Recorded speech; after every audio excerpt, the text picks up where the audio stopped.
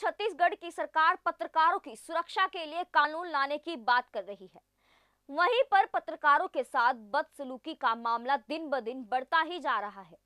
बिना जाँच किए, बिना किसी पुष्टि के वरिष्ठ पत्रकारों के साथ बदसलूकी साझा थाने के पुलिस कर्मचारियों के द्वारा करना बेहद ही शर्मनाक है। आपको बता दें कि इस मामले को लेकर ज़िले के तमाम पत्रकार एक होकर पत्रकारों के साथ हो रहे अत्याचार को लेकर अनशन में बैठकर दोषियों के खिलाफ कार्यवाही की मांग कर रहे हैं। आपको बता दें कि एक वरिष्ठ पत्रकार जिनको सूचना मिली थी कि साझा थाने में अवैध शराब का माफिया सक्रिय रूप से कारोबार चल रहा है, जिसकी कवरेज करने के लिए पत्रकार वहाँ पहुँचे हुए थे। जब पत्रकार इसकी वीडियो बना रहा था तो उनके हाथों से मोबाइल छीन लिया गया। और आरोपी की तरह उनके साथ मारपीट गाली गलोच की गई, जो पुलिस प्रशासन नियत को ज़ाहिर कर रहा है। इससे आप स्पष्ट पता लगा सकते हैं कि किस तरह खाकी का रोप पत्रकारों के साथ किया जा रहा है। आपको बता दें कि पुलिस तक जिम्मेदार व्यक्ति के साथ इस तरीके से दुर्व्यवहार कर रहे हैं। तो आम नागरिकों के साथ कैसा व्यवहार करते होंगे? यह पुलिस का तानाशाही रवैया जो छत्तीसगढ़ के पुलिस की छावी ज़ाहिर कर दी है। अब देखने वाली बात यह है कि पुलिस प्रशासन आखिरकार इस रवैये से बाज आते हैं और क्या वरिष्ठ पत्रकार को न्याय मिल पाता है कि नहीं? यह हम आप सबको तथा प्रदेश के मुख्यमंत्री माननीय भूपेश बघेल के द्वारा अपने घोषणा पत्र में कहे गए पत्रकार सुरक्षा का खुला उल्लंघन का एक जीता जागता स्वरूप साझा थाने के बेमतरा ज़िले में देखने को मिला है। फ़िलहाल एक एएसआई जीएनए सिंह प्रधान आरक्षक रघुराज यदु और एक आरक्षक ओम प्रकाश मनेहरे एसपी प्रशांत ठाकुर के दिशा निर्देश पर तत्काल निलंबित कर दिया गया है। सेकेंड टाइम में हमारे थाने में पत्रकार है इंडिया न्यूज़ से, योगेश राजपूत जी, वो आए थे कुछ यहाँ न्यूज़ लेने के लिए। उसी समय हमारे थाने के एएसआई हैं देवनाथ सिंह प्रधान आरक्षक रघुराज सिंह और आरक्षक ओम प्रकाश। ये तीनों ने वो बता रहे थे कि इन्हें मेरे साथ अभद्र व्यवहार किए। तो इस संबंध में जैसे ही हम लोग पता चला तो हम लोगों ने भी आके यहाँ देखा और उनको तत्काल प्रभाव से उनको लाइन अटैच कर दिया गया और जाँच के लिए S D O P Berla Mamta Dewangan को नियुक्त किया गया है कि तत्काल जाँच पर, अपना जाँच करके और इसमें रिपोर्ट प्रस्तुत करें। तदनुसार एसपी साहब पुलिस अधीक्षक हमारे प्रशांत सिंह ठाकुर द्वारा कार्रवाई की क्या आप मानते हैं इस तरह की घटना थाने में घटित हुई है? जाए अभी जाँच का विषय है इसको कहना उचित नहीं है। क्या एक पत्रकार अपने कर्तव्य का निर्वहन करने के थाना आता है? इस तरीके से कृत्य करता है? तो ये तो पुलिस की सीधा सीधा गुंडागर्दी है। नहीं इसमें जाँच का यह विषय इसीलिए मैंने आपसे आग्रह किया है कि यह जाँच का विषय जाँच करके उनके ऊपर कार्रवाई की जाएगी।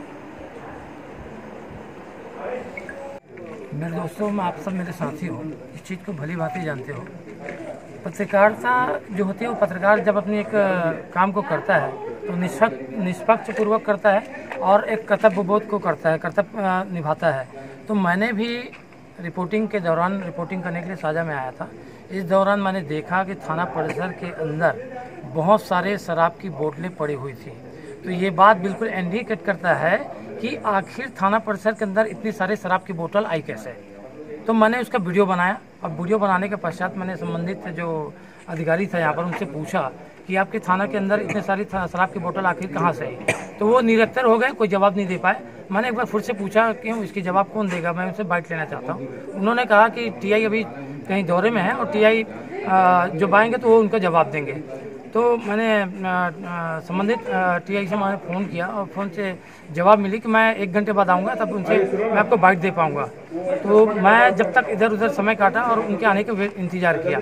इस दौरान मैं थाने परिसर में बैठा रहा और थाने परिसर में जो एएसआई है, एक हवलदार है और एक और कांस्टेबल है, उन्होंने मेरे को इस खबर से चिड़ गए। उनको ये बात का अंदेशा हो गया था बिल्कुल कि शराब की बोतल जो है थाने के अंदर, कहीं न कहीं की उनकी नौकरी सामत में आ सकती थी। इसलिए कहीं ना कहीं वो तीनों चिड़े मेरे पर तीनों टूट पड़े एक अपराधी की तरह।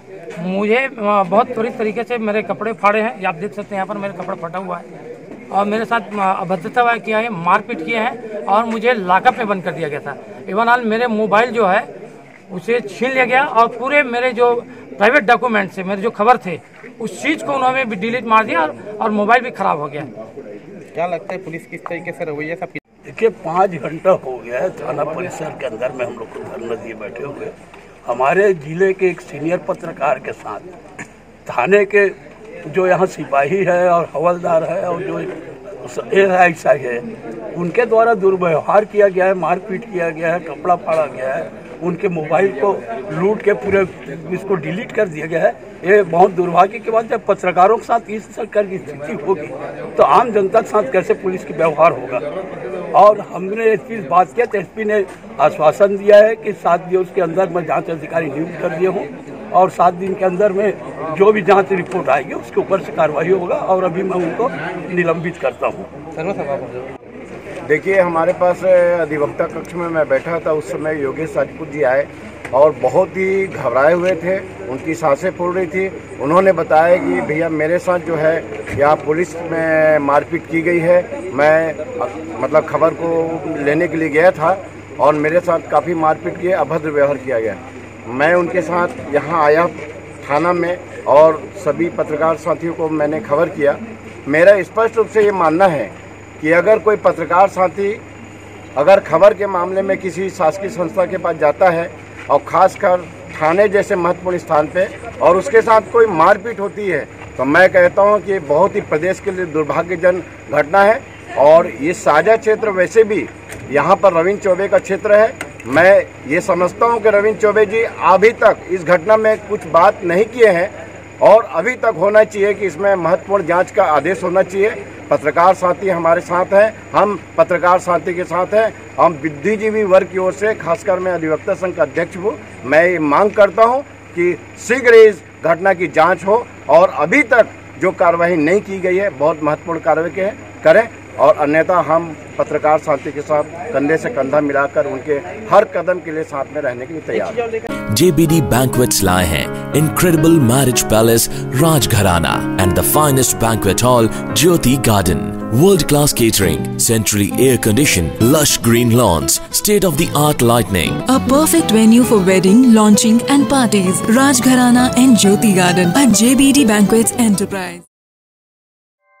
ऐसे ही लेटेस्ट खबरें पाने के लिए बेल आइकन को क्लिक कर हमारे चैनल को लाइक, शेयर एंड सब्सक्राइब करें। धन्यवाद।